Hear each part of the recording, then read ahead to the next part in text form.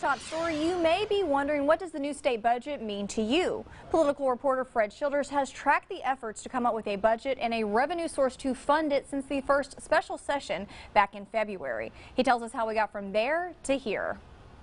Well, Sunday night's conclusion of the third special session saw two very important bills get final passage. A budget called House Bill 1 and a tax bill called House Bill 10, which helps to avoid the $648 million fiscal cliff.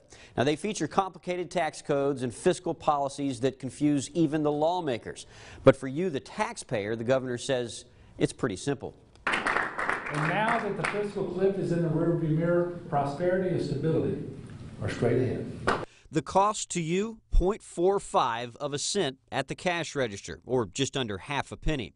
That's the magic number lawmakers finally agreed on. They're replacing a fraction of the full penny sales tax that's expiring. It generates about $500 million to help avoid cuts. Tonight, parents and students can go to sleep assured that TOPS will be fully funded and that we're giving them a scholarship to an institution that will be adequately funded as well. And I, I, couldn't be more excited, not for our institutions, but for the students we serve and the employers who will, will use their talents in the future. And fears of closed hospitals, nursing home evictions, or an end to the food stamp program have been allayed. While most lawmakers celebrated what they felt was finally a successful session and a compromise they can live with, Governor Edwards says the taxpayer who gets a $600 million tax cut is the real winner. Not me, not the legislature, not Democrats, not Republicans, but the people of Louisiana did win. Now that 0.45 of a penny tax is less than the full penny you've been paying at the cash register. That's why Governor Edwards says you get a tax cut. But Republicans argued that was supposed to be temporary.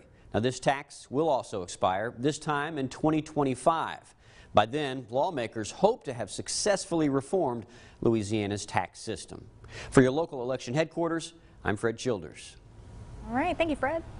Well, the new budget also fully funds the TOPS program for college students for the next seven years, which means more high school graduates will have the opportunity to pursue their higher education in the state of Louisiana. The competition from other states, from universities in other states, and especially the public universities in other states, is very real.